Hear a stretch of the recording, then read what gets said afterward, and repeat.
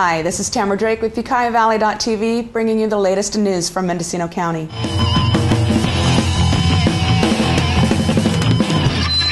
By the unanimous declaration of the Mendocino Board of Supervisors on Tuesday, Board Chair, 3rd District Supervisor John Pinches, will sign a letter and speak later this month at the State Water Resources Board hearing on the implementation of Assembly Bill 885. My name is Stacy Cryer. I'm the Community Health Services Branch Director for Health and Human Services. We're here today to talk about the proposed implementation of AB 885 by the State Water Quality Board. We have serious concerns about the implementation of AB 885 and the costly ramifications it might impose on the residents of our community. The nearly decade old legislation regarding on site wastewater treatment system regulations will soon go into effect, and many said will have a costly and detrimental effect on septic system owners in the state, especially in rural areas. The genesis of AB 885 was in Southern California in the 1990s, where poorly designed septic systems polluted beaches. AB 885 was passed in 2000. Regulations have been written and are currently going through the CEQA process.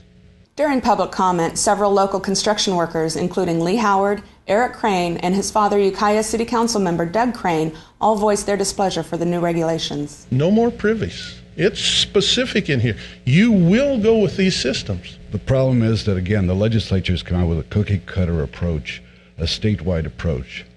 Frankly, there's a reason why there are nine regional water boards because different regions have different concerns and different problems and different watersheds. And uh, the North Coast is unique in that sense. This is a horrific piece of crap.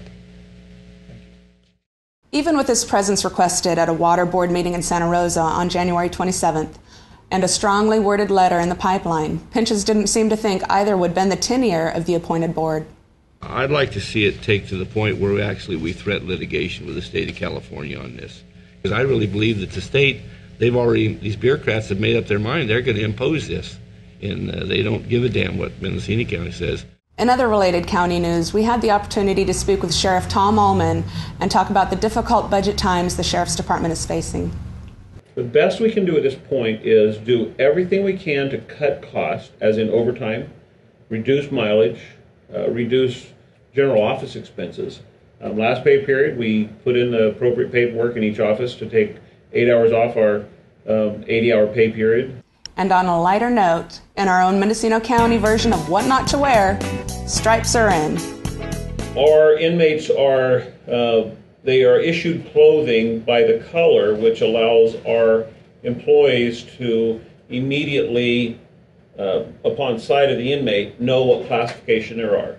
We found, and I found that many of our gang members who are in custody were wearing the red coveralls, and for people who are aware of gang colors, some gang members want to wear red, and some gang members don't want to wear red. They would prefer blue or another color.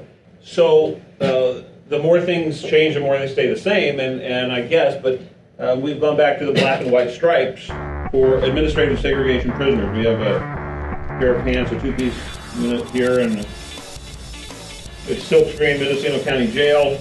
And so what we've been able to do is we've taken away the red coveralls from people who may be in a gang and they're wearing black and white stripes. This is Tamara Drake with UkiahValley.tv. Check back often for more local news.